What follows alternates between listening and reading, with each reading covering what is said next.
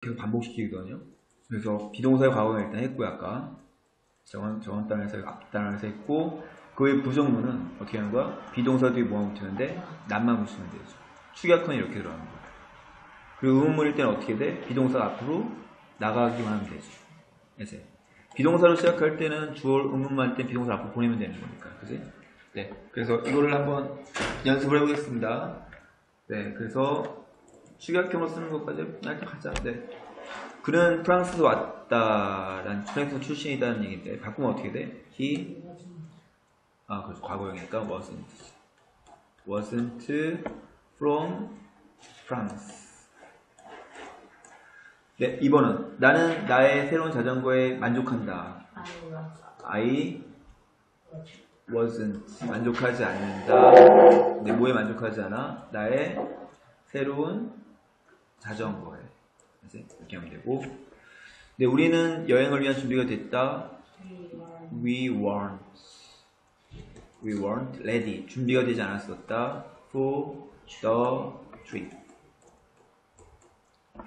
날씨가 따뜻하고 태양이 비친다. The weather. 날씨가 wasn't. 따뜻하지도 않았고 그리고 태양이 비치지도 않았다. 아, 알렉스와 올리버는 중학생이었다 중학생이다. 알렉스 and 올리버 weren't 아니었다. 뭐 아니었어? middle school 네 student가 아니었죠. 그치? 그래서 우리 뭐 하냐면 부정문 연습해 봤고요. 이제 의문문 들어가겠습니다. 네. be동사의 빈칸에 알맞은 말을 쓰래 해석 먼저 해볼까요? 셀리의 생일이 어제였니? 노래 누구라고 했으면 뭐야? No 아니죠 주어가 셀리가 아니라 셀리의 생일이지 영어로 돼. No, it wasn't. 네, 이번 하면 너와 내가 좋은 친구였니? Yes. You and I니까 해야 돼? Yes.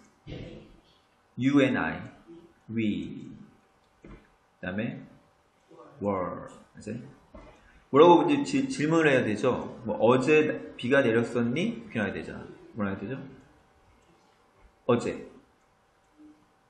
was was it rainy yesterday? No, it wasn't. 지난 일요일 날 너 부산에 있었니? 여기 나와야 돼. 뭐야 돼?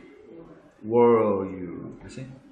그랬더니 뭐라고 얘기했더니 나는 어 할머 거기는 갔다는 얘기지. 뭐 yes, I, I, I was죠. 원은 복수형이 쓰는 거지. 앞쪽의 문법 다시 한번 보시고요. 계속 보셔야 되고. 브라운 씨는 가수가 아니었다. 라고 하면, 미스터 브라운, 미스터 브라운 wasn't, wasn't a singer. 가수가 아니었죠. 너 어제 아팠니? 아니, 안 아팠어. 그러면 어떻게 해야 돼? Were you sick? yesterday. 그러니까 이렇게 하면 영어 회화 하는 거야. 뭐 영어 회화가 뭐 별거 없어요. Yes, 어제 어디 아팠니? 그러면 No, I wasn't. 이렇게 하면 되겠죠. 다시 그래서 우리 뭐 하냐면 비동사의 의문문과 비동사의 네, 부정문을 연습해 왔습니다. 기본 개념이고요.